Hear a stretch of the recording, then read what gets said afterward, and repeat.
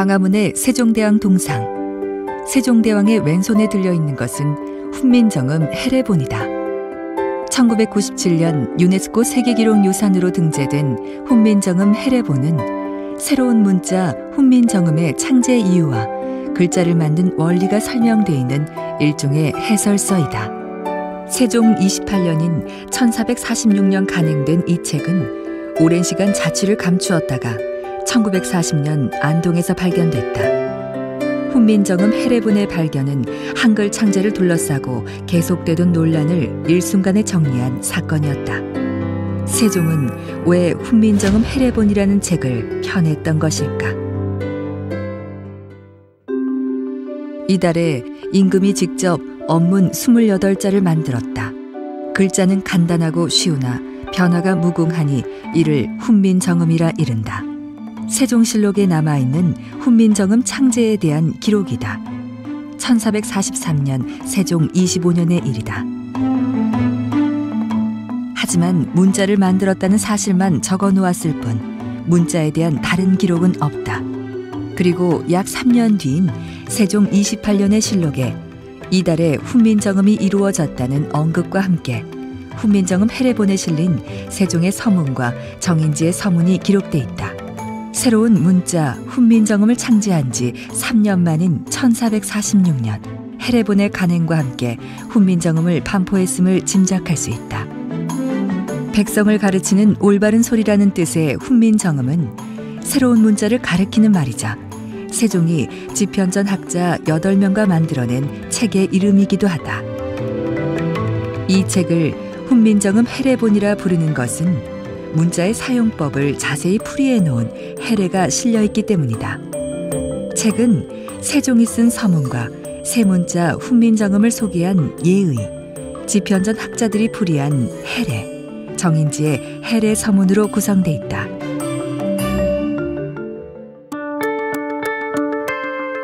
그렇다면 세종은 왜 새로운 문자를 만들려고 했던 것일까? 이에 대한 구체적인 기록은 남아있지 않지만 세종의 마음을 엿볼 수 있는 단서가 있다. 바로 삼강행실도이다.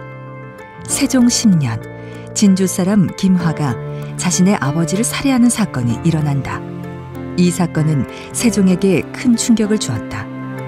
능지 처참의 벌을 내리긴 했지만 형벌만이 능사가 아니라고 생각한 세종은 효자, 충신 등의 사례를 담은 삼강행실도의 간행을 지시한다. 책에는 내용에 맞는 그림을 함께 넣어 글을 모르는 사람도 이해할 수 있도록 했다. 백성이 그림만으로 제대로 뜻을 이해할 수 있었을까? 이에 대한 세종의 걱정이 실록에 남아있다. 어리석은 백성들이 아직도 쉽게 깨달아 알지 못할까 염려하여 그림을 붙이고 이름하여 삼강행실이라 하였으나 다만 백성들이 문자를 알지 못하여 책을 비록 나누어 주어도 남이 가르쳐 주지 아니하면 어찌 그 뜻을 알아 감동하고 착한 마음을 일으킬 수 있으리요. 문자의 필요성에 대한 최초의 언급이라 볼 수 있다. 어리석은 백성과 문자에 대해 다시 언급한 것은 세종이 직접 작성한 것으로 알려진 훈민정음 해례본 서문에서이다.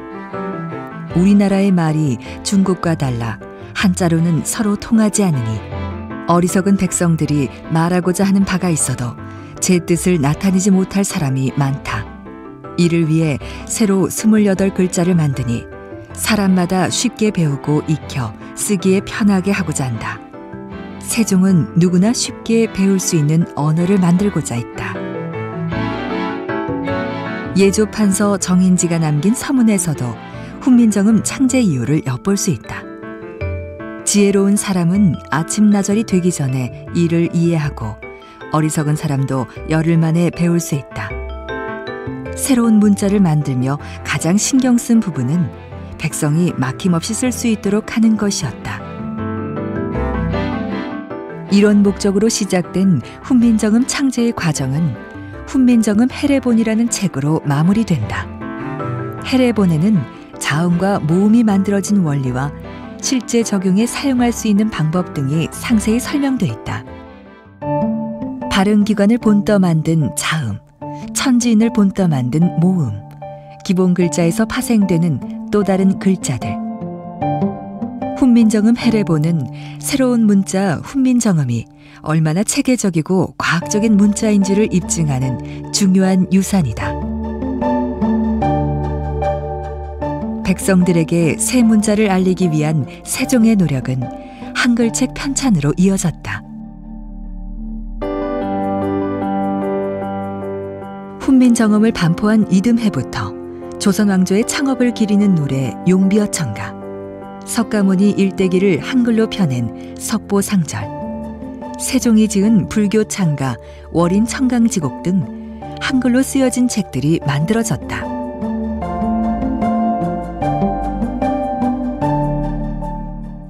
한문으로 기록된 훈민정음 해례본을 한글로 풀어 쓴 언해본도 간행됐다. 세종의 서문과 새 문자들을 소개한 예의편을 한글로 풀어 쓴 것이다. 한문을 몰라도 새로운 문자를 이해할 수 있도록 한 것이다. 해례본에 실린 정인지의 서문 그 마지막에는 해례본을 함께 만든 이들의 이름과 책을 펴낸 이유가 남아있다. 지편전 응교 최항, 부교리 박팽년, 신숙주, 성산문 강희안, 이계 이선로 등과 함께 보는 사람으로 하여금 스승이 없어도 스스로 깨우치게 하려고 이 책을 펴냈음을 밝히고 있다. 그리고 마지막에 정통 11년 9월 상한이라고 이 책이 만들어진 때를 기록해 두었다. 이 기록은 한글날의 지정에 중요한 단서가 되었다. 상순의 끝날인 9월 10일을 양력으로 환산해 10월 9일이 한글날로 결정된 것이다.